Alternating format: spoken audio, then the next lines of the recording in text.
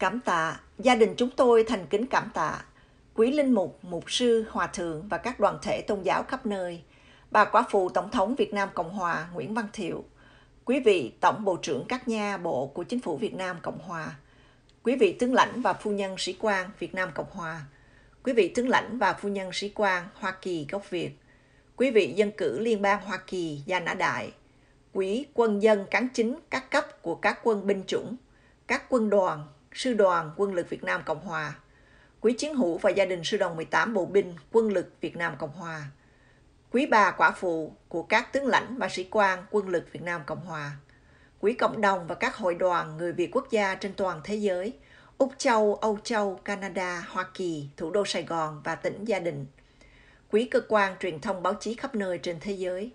quý thân hữu của các liên đoàn hướng đạo Việt Nam tại Hoa Kỳ, quý thầy cô và phụ huynh các trường Việt ngữ vùng Hoa Thịnh Đốn,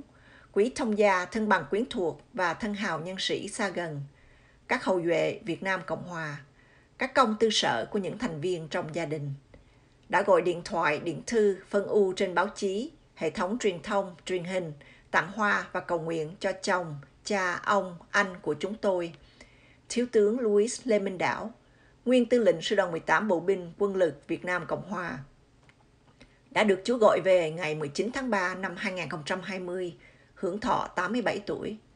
Trong lúc tăng gia bối rối, đồng thời với hoàn cảnh đặc biệt của đại dịch COVID-19, có điều gì sơ xuất, rất mong sự cảm thông và lượng thứ. Chúng tôi vô cùng xúc động và biết ơn toàn thể quý vị. Tang gia đồng bãi tạ, vợ bà quả phụ Lê Minh Đảo, nhũ danh Nguyễn Thị Ngọc Thủy, trưởng nam Lê Minh Đạm, quá cố, trưởng nữ Lê Thị Bích Điệp, thứ nữ Lê Thị Bích Lan, Lê Thị Bích Thủy, Lê Thị Bích Hồng, Lê Thị Bích Phượng, Lê Hằng My, Lê Thị Bích Chi, thứ nam Lê Hằng Minh Dũng, bà Trần Thị Bích Liên, thân mẫu của các con Đạm Điệp, Lan Thủy, Hồng Phượng, My Dũng, Chi, dưỡng nam Nguyễn Hoài Duy, các em Lê Hoàng Nghi, Lê Thị Ánh, Lê Thị Ánh Tuyết, tang gia đồng bãi tạ.